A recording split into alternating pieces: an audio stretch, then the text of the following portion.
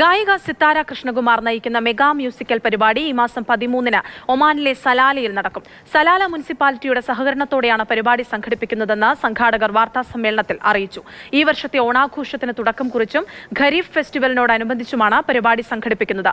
അൽ Marooj indoor സ്റ്റേഡിയത്തിലാണ് mega musical പരിപാടി നടക്കുകയെന്ന് Indian social club president Rakesh ജ Indian embassy consular agent doctor Sanathanan ജസ്ഫൻ Abdul Kareem എന്നിവർ അറിയിച്ചു.